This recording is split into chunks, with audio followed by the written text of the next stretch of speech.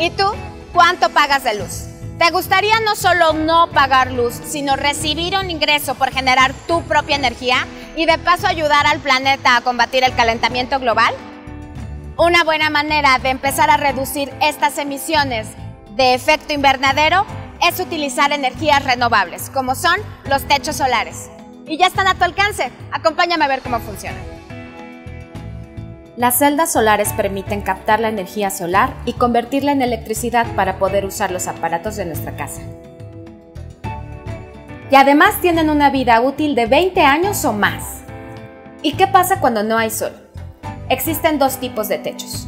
Los aislados, que guardan la energía en baterías para usarla por las noches, o los interconectados, que se mantienen conectados a la red eléctrica.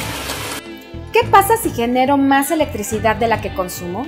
Pues fácil. La regresamos a la red y con ello podemos tener un beneficio económico de los excedentes.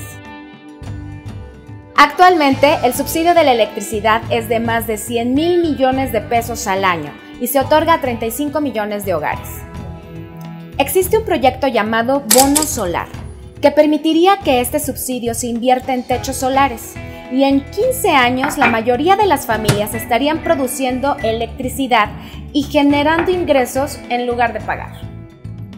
Y a partir de entonces, lo que antes se usaba como un subsidio, se podría invertir en temas prioritarios como salud y educación.